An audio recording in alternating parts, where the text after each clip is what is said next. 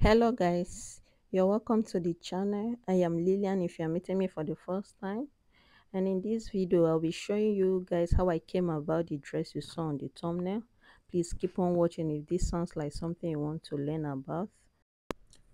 This short ball dress is very beautiful and comfortable for kids. It's comprised of um, a zipper at the back. It has a zipper at the back and some buttons at the front overlap though you can use a pressing button you can decorate it with any buttons you prefer. So this is the zip. The child can easily go in and out of the dress despite having a collar. So this is what we'll be learning about. Just keep on watching. Make sure you watch to the end. Another interesting thing about this dress is that the puffy sleeve is just made from a basic sleeve. So let's go right into the video without much talking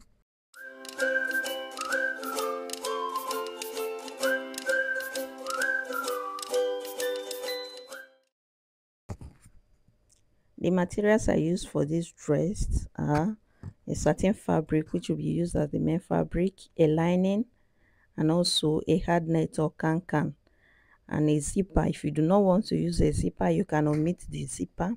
So the first thing we are to do is to draft out a basic bodice. We are starting with the back panel first and on the starting line I have a line. Also towards me I have a zipper allowance because I'll be using a zipper so i'll go ahead and mark out the length of the dress. I'm using 9 inch inches as the length of the dress and i added one inch um, joining allowance to the skirt part. So i'm marking out 10 inches right now and after that i'll roll it into a straight line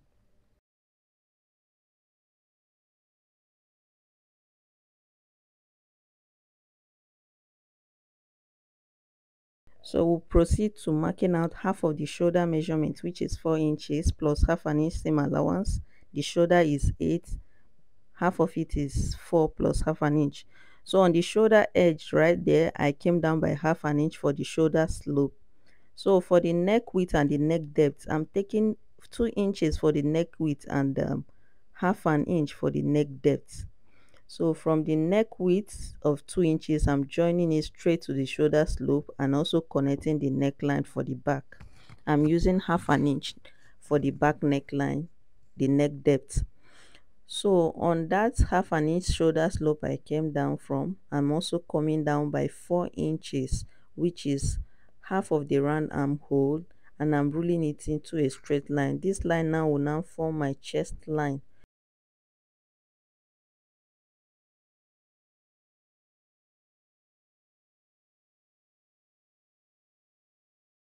so having gotten the chest line i will label it chest line waistline and that there is my shoulder.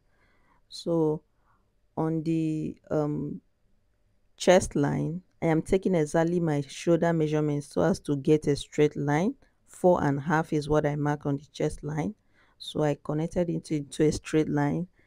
And on the connection i made i am dividing it by two and that is two inches then I would now be taking my body measurement. The chest chest measurement I'm working with the chest circumference is 22 inches. Quarter of it is 5.5 inches and I added one and a half inch seam allowance for for joining. The waist measurement and the chest measurement are the same thing. So I'm marking exactly what I marked on the chest line on the waist as well. I'm using 22 inches for both so I'll be connecting the armhole curve from the 5.5 inches I made earlier on the chest line to the middle of the armhole. And the back part is ready. The only remaining thing we have to add is the seam allowance at the shoulder part for joining. So remember to do this because if you do not do why joining it to the front it might it might prove a, a, a problem. So i'm using a a red marker so as to highlight it. So I'll go ahead and cut that out and then we'll move straight to the front pattern. This is just a basic bodice. So this is what I have for the back.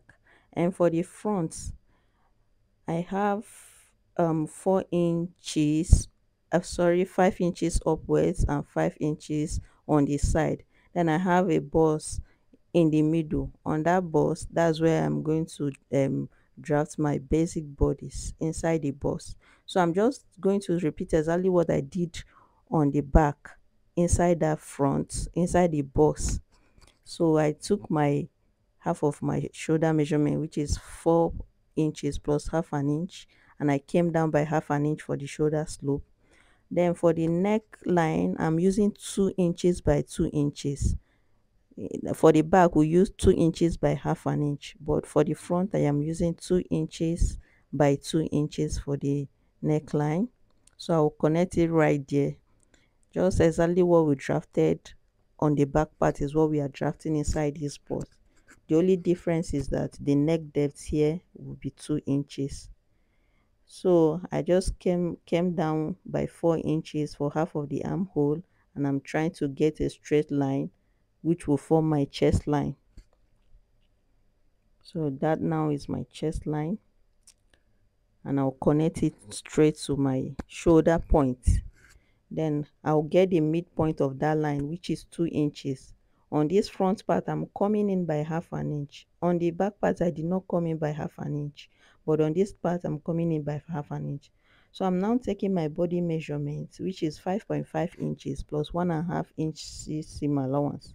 Same thing now is what i'm going to take on the waistline. So i'll connect it right there and move on to the other part. Just see what i'm doing the lines the dots i'm connecting and i'll join that to the tip of the shoulder. So the the front part is ready as well. So we have to work on the sh uh, shawl and on the collar. So the first thing we have to do is to mark two inches extension towards the center front. Two inches that will be for our overlap.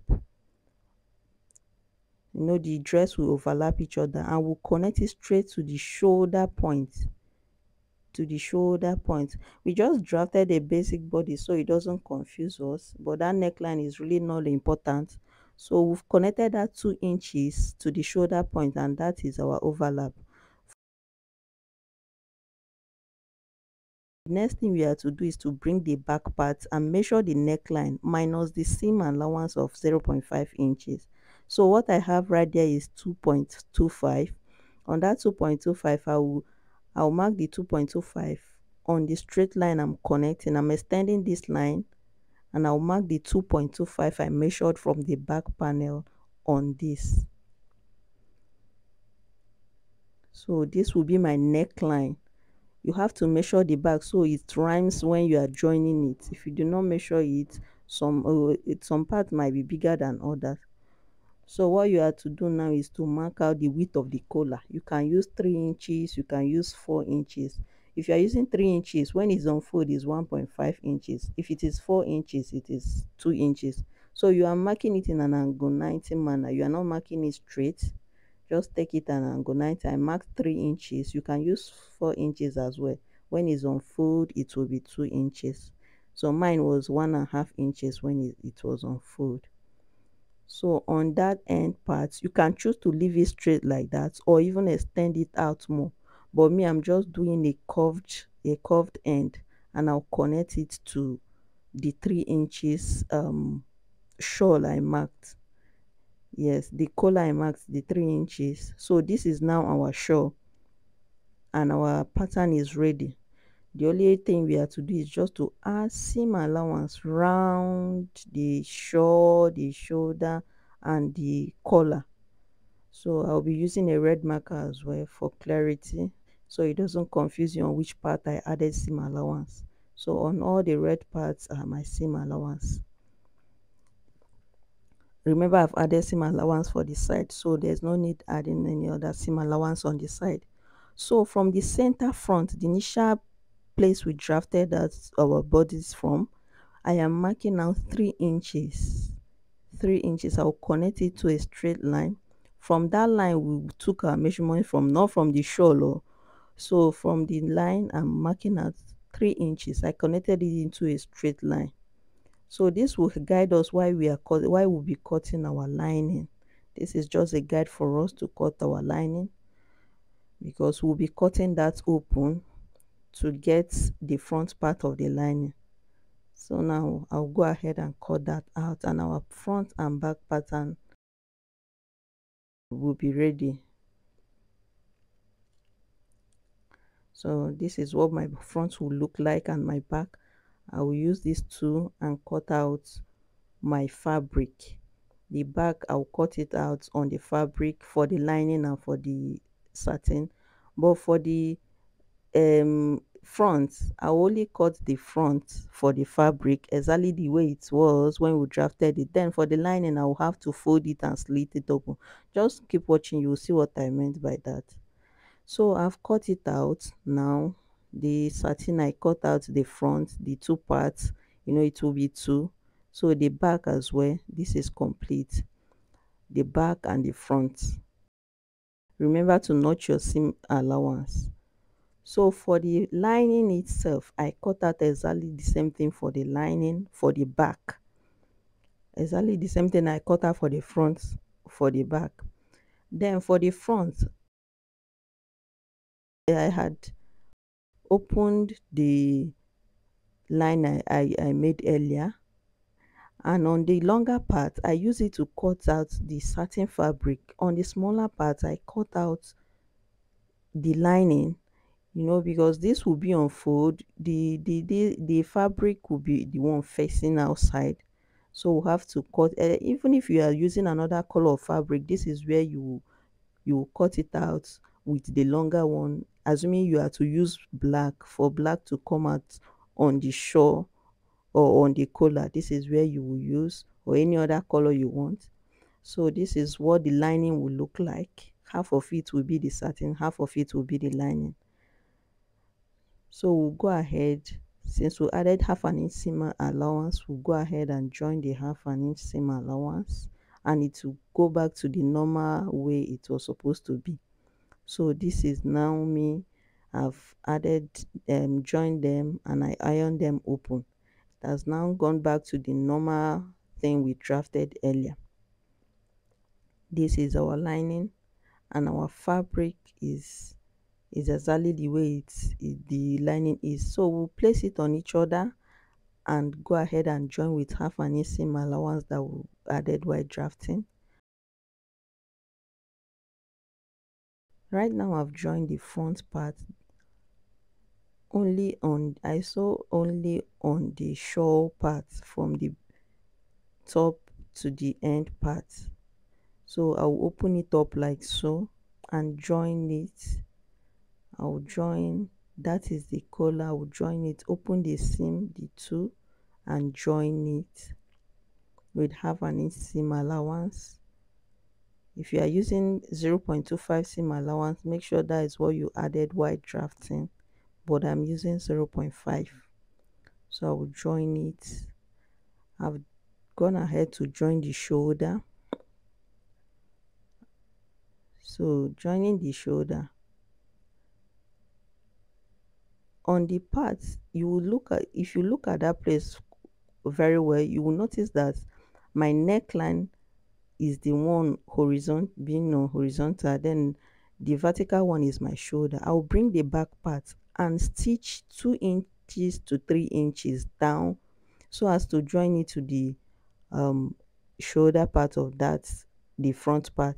I will open it up look carefully you will see what i'm doing. I will match the center to each other the center of the back. Since I've joined it by two inches I close the zipper allowance. I'll join it. So I'll pin it carefully. You have to be careful because this place is a bit tricky. If you do not do it where the neck area might not come out very well. So you have to join the neck to each other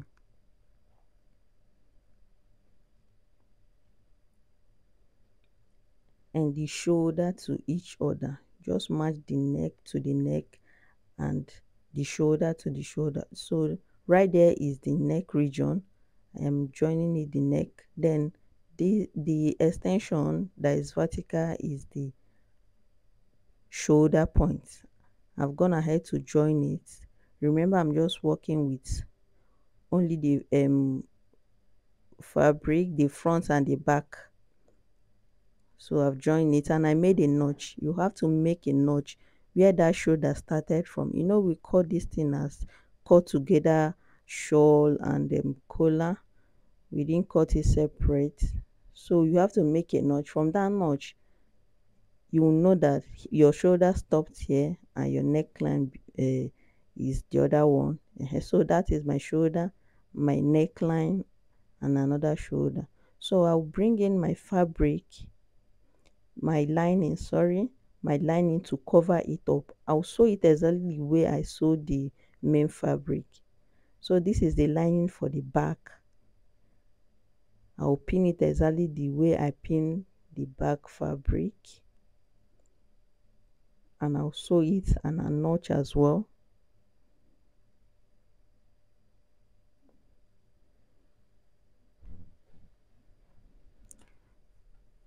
so guys i finished sewing the neck region. See how neat it is. You have to take your time. Just cool down and sew it. Pin it if necessary. In fact you need to pin it so that you don't make any mistake or sewing and losing. I've joined them and i've ironed them open. I've ironed it properly and i've ironed the shawl as well. The overlap is there. If you can if you can see very well you can take it to the right or to the left anywhere you want it.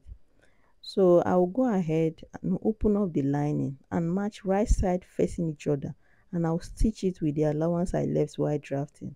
Then on the fabric i will match them as well and, and, and stitch it down with the one and a half inches seam allowance i left.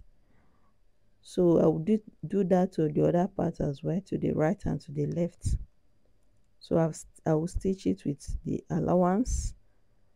And also when I finish stitching them I will I will position the overlap the way I want them to be left or right anywhere you choose. And I will stitch it. I will make a stitch. So I want the only opening I'll be having to be at the back so that I'll be able to fix my zipper. So I've stitched that down and I've joined the sides. See the inside is very neat. I concealed it. The inside is very neat. And the only opening i had i had was at the back. So now i'll take the measurement of that waistline. I'll take my measurement. That measurement is what i'll be using to cut out my skirt part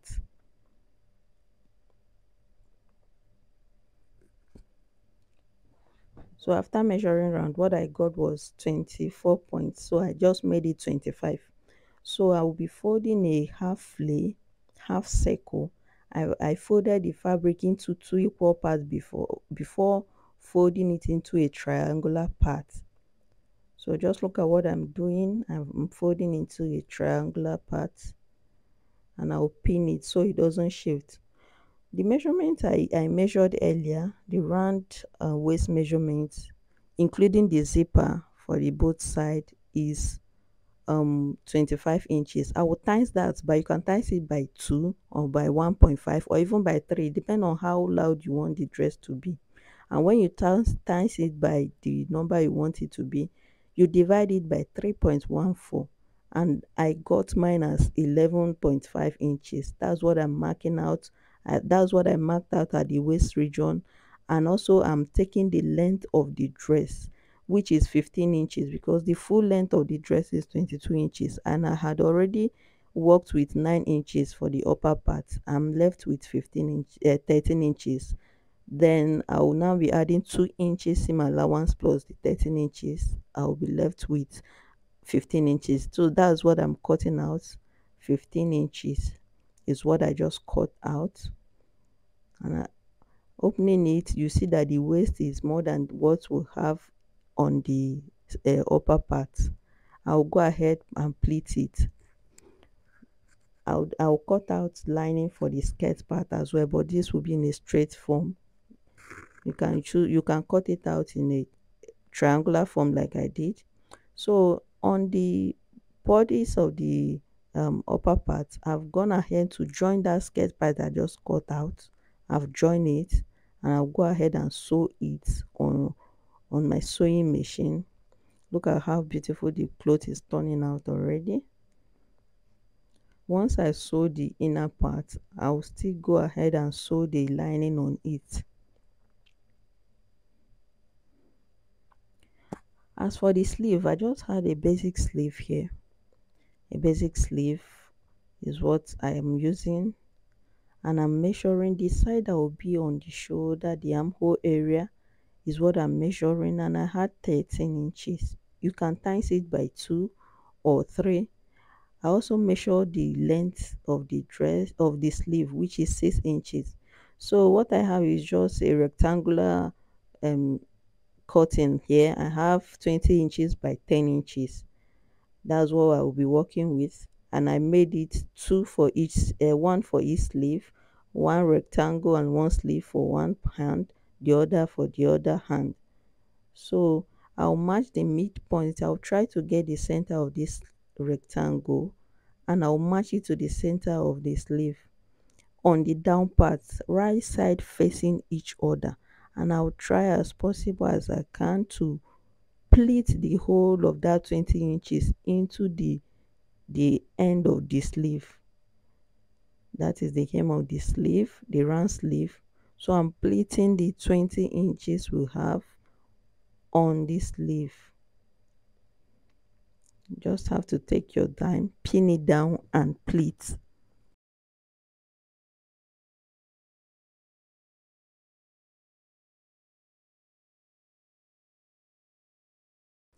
so once i'm once i'm done pleating i will sew on it and i will top stitch it towards towards the um the sleeve itself not the rectangle.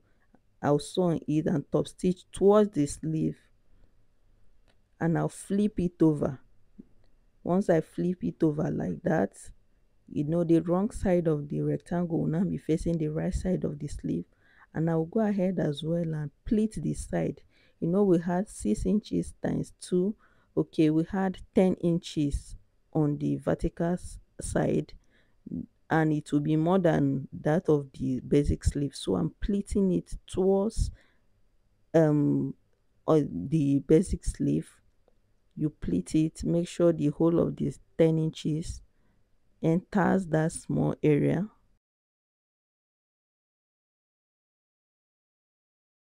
so you go ahead and sew that down as well. Then the the only remaining part now will be the upper part which i will still go ahead and pleat. I'll match the midpoint together and i'll pleat them.